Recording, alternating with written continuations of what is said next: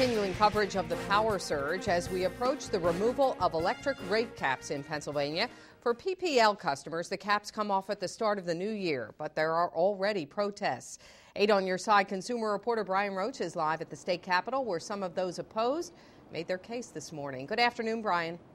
Hi, Susan. Just to clarify, those rate caps expire at the end of this year for PPL customers. They expire at the end of 2010 for customers of uh, PECO and Met-Ed, and that's something that they'll have to address next year. But as you were saying, Susan, consumer and taxpayer advocates today were speaking in the Capitol Rotunda here, talking about specifically that 30% expected rate hike for customers of PPL urging the consumers, the customers of PPL, to act now and contact their legislators. With a backdrop of a great big electric plug, they were urging consumers to pull the plug on this 30% rate hike, saying this rate hike may be so troublesome that some consumers out there, some low income consumers, may have to make some difficult choices between things such as food and health care or electricity. And they're furthermore saying that PPL could set a record for electric shutoffs and terminations if this rate hike goes through as expected on January 1st.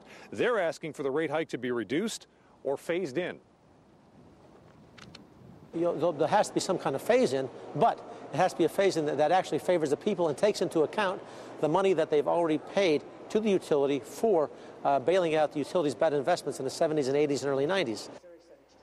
These advocates are uh, offering three alternatives a senior rate based on a household's age or income, green weekend rates for off peak or time of use rates, and the third one, which is a time of use rate that would allow consumers to participate uh, and not discriminate against low income or environmental customers. Two of those three options that we know have already been tossed out in numerous discussions throughout the years uh, here at the, at the Capitol. But the bottom line here is that they're urging consumers to act now with just 30 days to go. Again, these rate caps come off at the end of the month. Uh, they're asking people to take action, contact their legislators. If not, uh, completely eliminate this rate cap. They're asking them to put it off. But again, Susan, this is an issue that has been discussed here for years now in the state capitol. There are some pieces of legislation that have been on the table now throughout this entire session. And quite frankly, it seems that very little, if anything, may be done to head off this uh, proposed, uh, I should say proposed, this actual rate hike that will be coming up at the end of this month. Susan? All right. Thank you, Brian.